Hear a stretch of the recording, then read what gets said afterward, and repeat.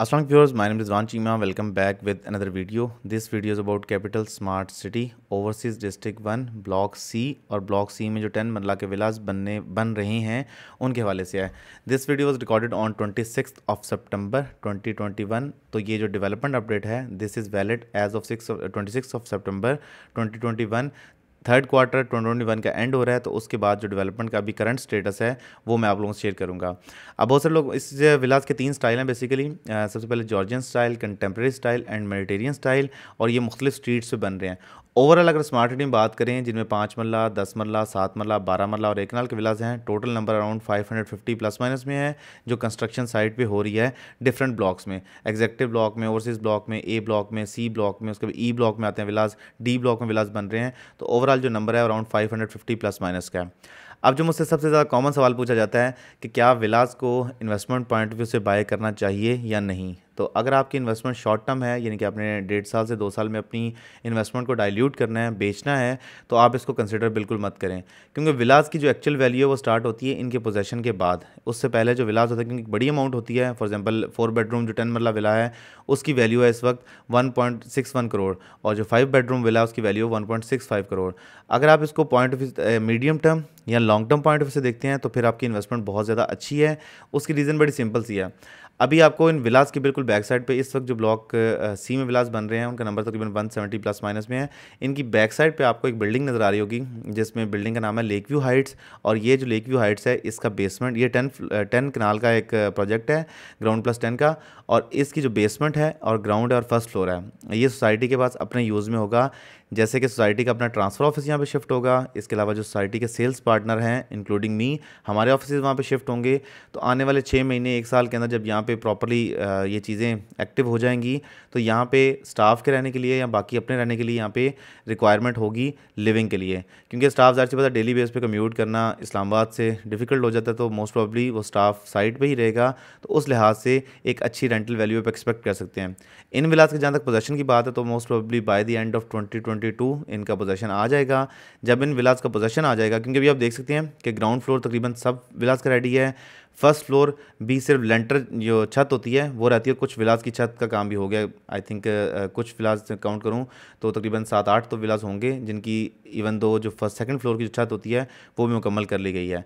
अगले होपफुली दो महीने में तमाम विलास की, तकरीबन दो से ढाई महीने में तमाम विलास की प्रॉपर जो जिसे कहते हैं छत डलना, वो कंप्लीट हो जाएगा काम। उसके बाद इसकी फिनिशिंग प्लस्तर और फिनिशिंग काम का आगाज़ हो जाएगा, जो छः से आठ महीने का टाइम लगेगा।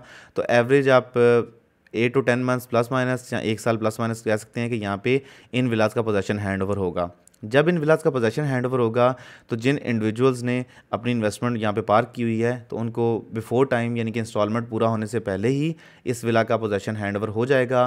तो उनको अपनी फ्यूचर इंस्टॉलमेंट्स पे करने के लिए फ़िक्र करने की ज़रूरत नहीं है, क्योंकि उनकी जो फ्यूचर इंस्टॉलमेंट्स होंगी, वो इसी की रेंटल वैल्यू से कवर हो जाएँगी। क्योंकि यहाँ पर जो ऑफ़िस खुलेंगे और यहाँ पर जो स्टाफ जब आएगा तो इन विलास की जो सबसे ज़्यादा हाईली डिमांडेड प्रोडक्ट होगा कैपिटल स्मार्ट सिटी में, वो ये विलास होंगे। अब short term long term medium term में जो तीन फ़र्क होते हैं शॉर्ट टर्म के लिए अगर आपने डेढ़ साल से दो साल के पॉइंट ऑफ़ व्यू से इन्वेस्ट करना है तो हमेशा प्रेफर किया करें प्लॉट को या कमर्शियल प्रॉपर्टी प्लॉट की वैल्यू प्लॉट की शेप में। कभी भी विलास को प्रेफर मत किया करें शॉर्ट टर्म इन्वेस्टमेंट के लिए। डेढ़ से दो साल का टाइम होता है शॉर्ट टर्म इन्वेस्टमेंट का। अगर आप मीडियम टर्म इन्वेस्टमेंट देख रहे हैं, यानी कि थ्री ईयर्स प्लस माइनस का टाइम तो फिर आप इसको विलास को डेफिनेटली कंसिडर कर सकते हैं, क्योंकि तीन साल बाद एक तो इनकी जो प्रिंसिपल वैल्यू है 1.65 करोड़ इस पर काफ़ी ज़्यादा अच्छी अप्रिसिएशन आ जाएगी। क्योंकि इस्लामाबाद में अच्छी सोसाइटीज़ में अराउंड आपको तीन करोड़, ढाई करोड़, तीन करोड़ प्लस माइनस में आपको अच्छी सोसाइटीज़ में विलास मिलते हैं। तो आपके पास तकरीबन हंड्रेड परसेंट का एक मार्जिन है यहाँ पे, जो फ्यूचर में गेन होने के चांसेज हैं। सेकंड आता है लॉन्ग टर्म लॉन्ग टर्म में ये सबसे ज़्यादा बेनिफिशियल प्रोडक्ट है। मुझसे कोई पूछता ना कि लॉन्ग टर्म इन्वेस्टमेंट है, मैं उनका बजट पूछता हूँ। अगर बजट यहाँ पे फैसिलिटेट होता है तो मैं विलास को डेफिनेटली रिकमेंड करता हूँ। नंबर वन इसकी दो चीज़ें हैं। एक तो कोई भी ओवरसीज़ पाकिस्तानी जिसने विला बाय करना है तो उसको किसी किस्म की कंस्ट्रक्शन की फ़िक्र करने की ज़रूरत नहीं है, क्योंकि पाकिस्तान की एक जो सबसे लार्जेस्ट कंपनी है कंस्ट्रक्शन में from the last seven decades सत्तर साल से कंपनी है हबीर फिक लिमिटेड वो इसको कंस्ट्रक्ट कर रही है। सबसे बड़ा नाम होता है कि आपने एक ब्रांड जब आपको कंस्ट्रक्शन करके दे रहे ना तो आपके पास सिक्योरिटी होती है कि एक विला में कोई भी मसला आता है तो वो ब्रांड अपने सत्तर साल की रेपूटेशन पर कॉम्प्रोमाइज़ कर रहा है। तो ऐसा कभी भी नहीं हो सकता कि एक ब्रांड हो जिसने सेवेंटी ईयर्स की अपनी रेपूटेशन पर कॉम्प्रोमाइज़ करे due to some production quality तो इस पर ऐसा ऐसा बिल्कुल नहीं होगा। तो जो भी इंडिविजुअल्स इसको कंसिडर करेंगे in terms of long term investment या अपने लिविंग के पॉइंट ऑफ़ व्यू से, फिर भी ठीक है। अब लिविंग के पॉइंट ऑफ़ व्यू से जो विलाज हैं, उनमें फिर लोकेशन मैटर कर जाती है। जो फ्रंट के विलाज होंगे डेफिनेटली वहाँ पर ज़्यादा मैं लिविंग पॉइंट ऑफ़ व्यू से जो फैमिलीज़ के साथ रहना चाहेंगे, मैं रिकमेंड नहीं करूँगा। क्योंकि उसकी सिंपल सी रीज़न है कि सामने वाली साइड पर ग्राउंड प्लस टेन का जब बनेगा प्रोजेक्ट तो वहाँ पर प्राइवेसी काफ़ी हद तक कॉम्प्रोमाइज़ होगी। और वहाँ पर वैसे भी जब स्टाफ रहेगा तो वहाँ पर काफ़ी ज़्यादा वहाँ पर मेल इंट्रैक्शन बहुत ज़्यादा होगा। तो फैमिलीज़ के लिए वो जगह सूटेबल नहीं बनती। अगर आप फैमिली से रहना चाहते हैं, जो लास्ट वाली स्ट्रीट है, इस पर around fifteen to twenty villages एक साइड पे हैं, फिर ट्वेंटी विलाज एक साइड पे हैं अराउंड फिफ्टीन टू ट्वेंटी एक साइड पे हैं, जो फेसिंग अदर साइड हैं, या फेसिंग अब नॉर्थ कह लें। तो ये वाली साइड जो बनती है, काफ़ी ज़्यादा फिजिबल बनती है इस पॉइंट से। सो फिर this was it from today अगर आपको स्मार्ट सिटी में बुकिंग के वाले से कुछ मालूम चाहिए तो मेरा नंबर आपकी स्क्रीन पर अवेलेबल है plus nine two three four five double nine double nine double eight one अगर आपको वीडियो अच्छी लगे तो please do like comment and share और चैनल को सब्सक्राइब करना मत भूलें। रिजवान चीमा को दीजिए इजाज़त। अगली वीडियो तक के लिए खुदा हाफिज़।